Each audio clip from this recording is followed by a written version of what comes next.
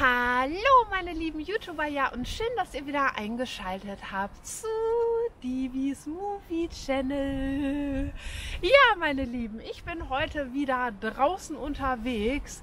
Und da das Wetter heute nicht so schön ist, habe ich für euch aber was Schönes im Gepäck. Und zwar ein neues Messerschätzchen von O-Knife. Genau, denn ich habe von denen wieder Post bekommen und da war ein sehr hübsches Messerschätzchen drin, was ich euch heute natürlich vorstellen möchte. Wenn ihr gespannt seid, wie das heißt und wie das aussieht und was das kostet, dann bleibt dran. Ich wünsche euch jetzt ganz, ganz viel Spaß bei diesem Video und los geht's. Ja, meine Lieben, ich habe das Messer jetzt schon in meiner Hand. ja, denn heute dreht sich alles um das O-Knife Beagle. Woo! Ja, so sieht das aus. Wie man das so gewohnt ist von O-Knife, ist das Messer auf dem Karton auch immer abgebildet und ja, ein bisschen könnt ihr darauf ja schon erkennen. Und wie unschwer zu erkennen ist, handelt es sich heute um ein Klappmesser mit sehr hübschen farbigen Details und ja, ich zeige euch jetzt erstmal, wie das Messer aussieht, wenn ihr das bekommt, was da noch mit bei ist. Denn wir haben hier nicht nur einfach diese schöne Verpackung, wo ihr auch schon die Einzelheiten zu dem Messer ablesen könnt. Nein, da ist nämlich noch was sehr, sehr Schönes mit dabei und das zeige ich euch jetzt. So, das hier erstmal ab und den oberen Deckel auch.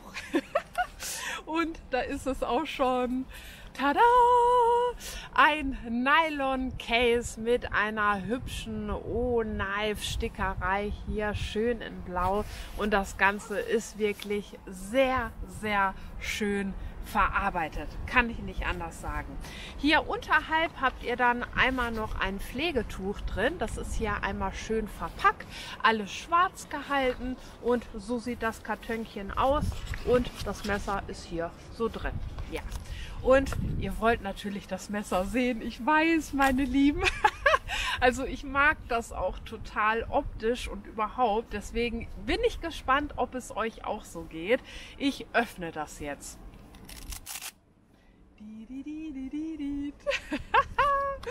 So, ich zeige euch jetzt als erstes das Messer und dann die Kleinigkeit, die das Messer noch ein bisschen besonderer macht. Und tada! Das ist es. Das ist das O-Knife Beagle. Yay! Also ich habe mich so, so gefreut, dass ich das zugeschickt bekommen habe und dass ich euch das vorstellen darf, weil das ist natürlich genau mein Geschmack und ihr wisst, was ich euch zeige, das liebe ich auch und daher auch immer meine Freude in den Videos. Und ich öffne das jetzt. Tada!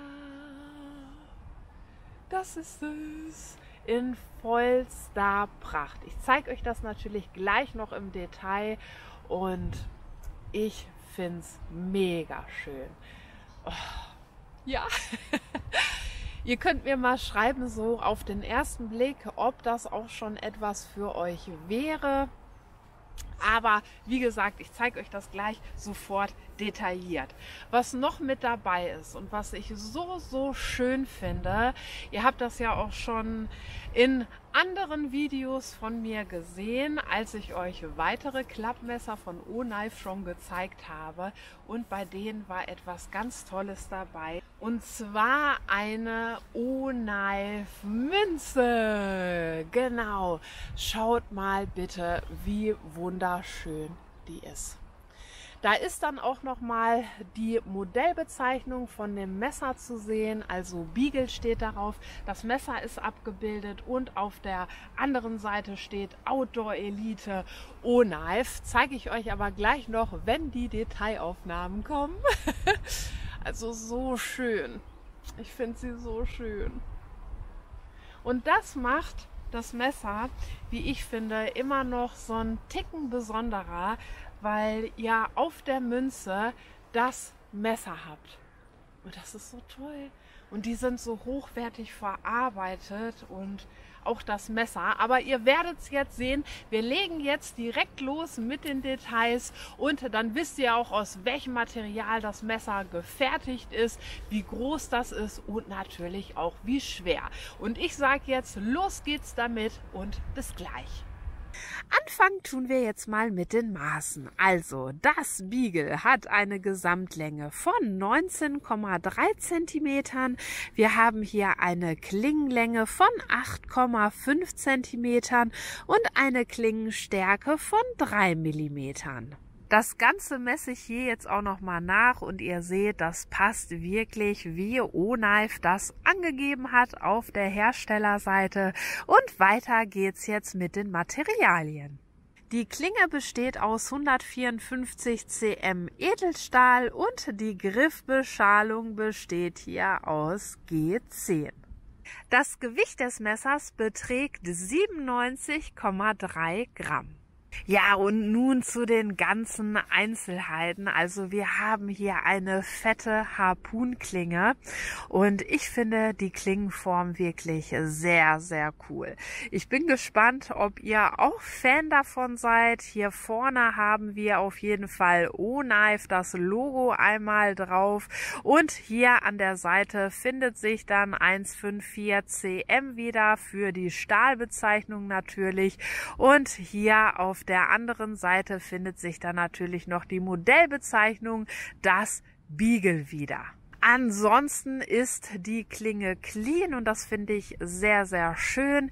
Die Form ist schön und schaut euch das mal bitte an. Ja, die Klingenstärke beträgt ja drei Millimeter, wie ich euch gesagt habe. Finde ich sehr schön. Oberhalb haben wir hier dann ein Jimping, was auch relativ lang ist, also gar nicht mal so kurz, so dass, wenn ihr das Messer greift, hier direkt mit dem Daumen auf das Jimping trefft. Ja, und dann haben wir hier natürlich noch die Daumenpins, die beidseitig hier angebracht sind und dadurch könnt ihr das Messer natürlich blitzschnell öffnen. Die sind hier farblich auch abgesetzt, wie die Achsschraube hier auch, finde ich sehr, sehr schön. also diese kleinen blauen Details hier dann natürlich auch nochmal an der Griffschale, zwei Stück und ähm, ja, so sieht das Ganze aus. Wie findet ihr's? Schreibt mir das mal. Die G10 äh, Griffschalen sind hier natürlich mit einer tollen Struktur versehen und hier haben wir dann eine schöne Fingermulde. Also das Messer lässt sich wirklich sehr, sehr gut greifen. Das macht Spaß und ja, also mir tut hier nichts weh. Da müsst ihr natürlich schauen, ob ähm, ihr das so mögt durch diese Riffelung von dem Liner. Bei manchen Messern ist das ja mehr versteckt, bei manchen mehr ausgeprägt, wie ihr vielleicht wisst, wenn ihr mehrere Liner-Loks schon in der Hand gehabt habt und äh, ja, bei eurem Messerschätzchen probiert habt. Aber mich stört das hier definitiv nicht. Ich finde das sehr, sehr schön gemacht. Das G10 ist rutschfest, fühlt sich sehr stabil an. Der Liner lässt sich hier wunderbar öffnen und ja, die Klinge fährt hier butterweich ein. Das macht Spaß. Das macht wirklich sehr, sehr Spaß. das ist einfach so, meine Lieben. Und hier dran ist natürlich auch ein Gürtelclip, wie ihr seht. Der ist meiner Meinung nach aber relativ hoch. Ich hätte den etwas flacher gemacht. Ich weiß nicht, was ihr jetzt meint, so auf den ersten Blick, aber ich hätte es einfach schöner gefunden. Ist aber auch nur meine Meinung. Ansonsten könnt ihr den Gürtelclip natürlich vollständig demontieren. Was ich zusätzlich ein bisschen schade finde, ist, dass diese zwei Schräubchen schwarz sind. Also dann hätte ich die auch bläulich abgesetzt. Und ihr könnt den Gürtelclip natürlich hier auch versetzen. Also von rechts nach links, je nachdem, ob ihr Rechts- oder Linkshänder seid. Das finde ich immer sehr schön, dass der Hersteller da auch mit dran gedacht hat. Und ansonsten stimmt die Verarbeitung hier einfach sowas von. Die Klinge liegt mittig auf, die Daumenpins, hier einfach die Griffschalen, so schön, also die Platinen, alles ist wunderbar gefertigt und so bin ich das auch von O-Knife gewohnt. Ihr könnt das Messer hier mit einer Hand natürlich super schnell öffnen und das gestaltet sich überhaupt nicht schwierig. Ja, und ich finde es einfach toll. Also ihr habt hier, wenn ihr jetzt größere Hände habt, so, wenn ich das Messer jetzt umfasse, noch Platz. Und ähm, ja, ich denke, das ist sehr gut auch für größere Hände geeignet, denn wir haben hier alleine ja fast eine Grifflänge von 11 Zentimetern und hier haben wir dann auch noch eine Fangriemenöse. Die könnt ihr natürlich zusätzlich mit einem Lanyard versehen.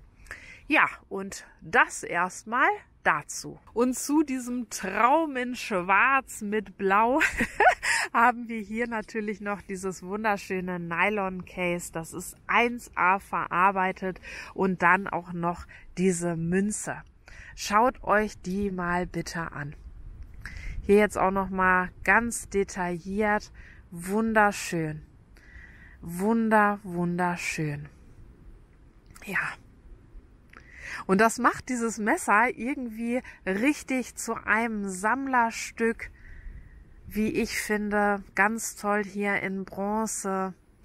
O-Knife, das passt einfach perfekt. So, das waren jetzt die ganzen Einzelheiten und wir schalten jetzt mal wieder um. Ihr wisst nun um das Messer Bescheid. Falls ihr aber dennoch Fragen haben solltet, schreibt mir das einfach unten in die Kommentare und vergesst nicht, den Link zu dem Messer packe ich euch natürlich unten in die Infobox.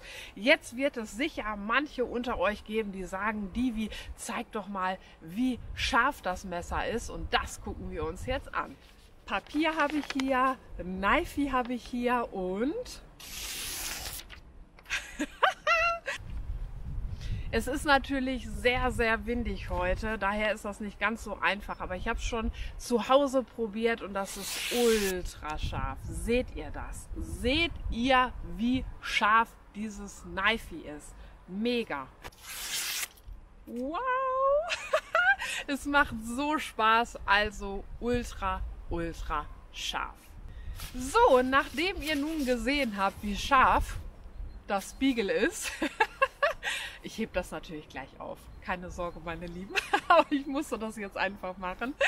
Nachdem ihr jetzt gesehen habt, wie scharf das ist, blende ich euch jetzt noch ein paar schöne Eindrücke von dem Beagle ein. Genießt es einfach, lehnt euch zurück und ich sage bis gleich.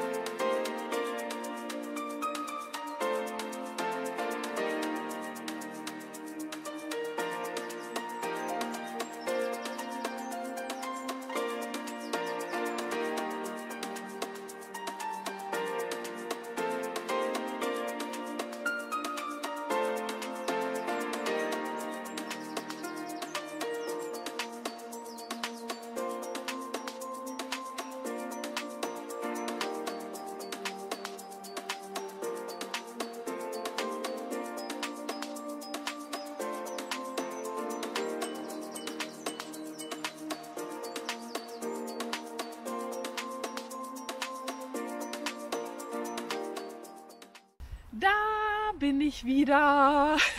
Na, habt ihr die Eindrücke genossen von dem Beagle?